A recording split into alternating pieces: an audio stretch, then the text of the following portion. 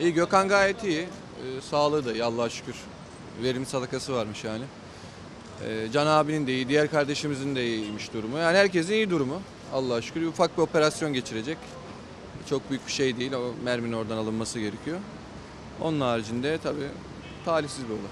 Kendisiyle konuşabildin mi? Tabii tabii konuşun Olayı konuş. anlattı mı? Nasıl? Gerçek Yani onlar zaten bir ses duyuyorlar. Sonra bir şey hissediyor. O zaten arabaya bindiği zaman, eline attığı zaman anlıyor.